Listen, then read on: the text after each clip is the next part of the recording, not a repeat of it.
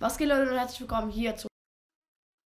Und wie ihr es hier schon vielleicht im Hintergrund seht, das Team hat eigentlich nur noch zwei Spieler, die wirklich in der Offensive die volle Chemie haben und beziehungsweise zwei gute. Und diese Serie geht mit Philipp Kostic, der im Moment richtig auftritt. Hier ist er von VfB Stuttgart, 4 Sterne Skills, 4 Sterne, äh, 2 Sterne schwacher Fuß, aber 4 Sterne Skills sind richtig überragender Wert. Im rechten Mittelfeld haben wir dann Karim Bedarabi.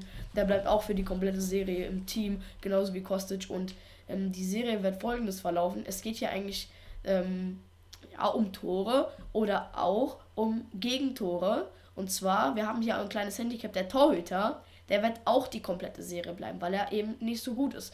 Und man soll jetzt kein Manuel Neuer im Tor haben, der hält einfach jeden Ball, das ist halt ein bisschen langweilig. So, deshalb haben wir extra hier diesen Itanja im Tor.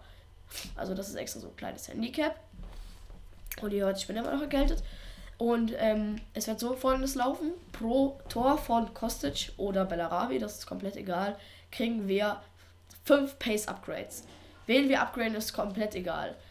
Ähm, äh, nicht 5 Pace Upgrades, sorry, sondern 2 Pace Upgrades. Wenn wir ein Tor mit normalen Spielern schießen, kriegen wir ein Pace Upgrade. Dazu gibt es noch Bonus. Und zwar beim Siegbonus gibt es nochmal ein Upgrade insgesamt dazu. Und ohne Gegentorbonus gibt es auch nochmal ein Upgrade dazu.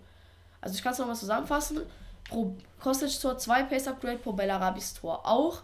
Ohne Gegentore ein normal Upgrade, Sieg nochmal ein Upgrade. Und das war es eigentlich auch pro normalen Spieler gibt es dann nur ein Upgrade. Wenn ein normaler Spieler ein Tor macht, gibt es dann nur ein Pace Upgrade. Und das am Ende soll die Chemie ist eigentlich recht egal. Am Ende ist wichtig, dass Kostic und Bellarabi auf voller Chemie sind.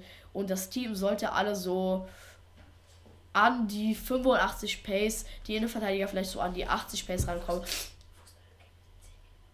Und das sollte auf jeden Fall also gut werden. Also das war heute nur mal das Team. In der nächsten Folge kommt dann auch das Gameplay. Das war jetzt nur noch hier mal das Team. Also jetzt fragen sich bestimmt viele, her, warum sind diese und diese Spieler halt da drin? Ja. Die haben halt einfach äh, gut reingepasst und so. Ich wollte auch halt unbedingt nicht nur drei oder vier liegen, sondern halt einfach zwei. Das ist halt das Team und das sind auch die Regeln. Und die werdet ihr noch unten in der Beschreibung finden und ihr sollt auch die Beschreibung abchecken.